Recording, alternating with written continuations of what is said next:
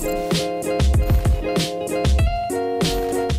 this is Andrew from Email Marketing NYC, and today I'll show you how to integrate MailChimp with Klaviyo uh, and why do you need to do it. So it's uh, automatically you need to migrate data from MailChimp to uh, Klaviyo and you don't need to hire anybody. It's very easy to do and it's done.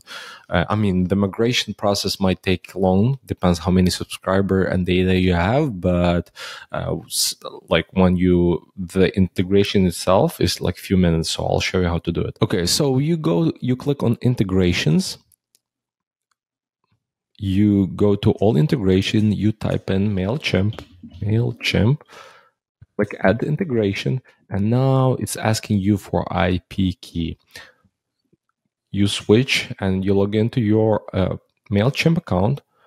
Then you click on accounts. Then you click on extras and you click IP key. And now you want to generate, create a key. You can create a label, Klaviyo. You copy your IP key and click select here and connect to MailChimp.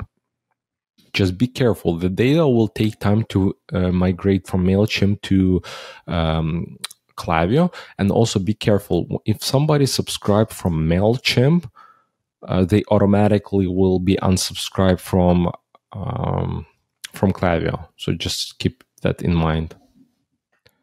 Also, you have advanced uh, option here. You want to collect, open and click um, data from MailChimp and update MailChimp settings. And it, it, it will take some time to finish the importing. As you can see, sync in progress, and it might take sometimes few hours, sometimes a few days.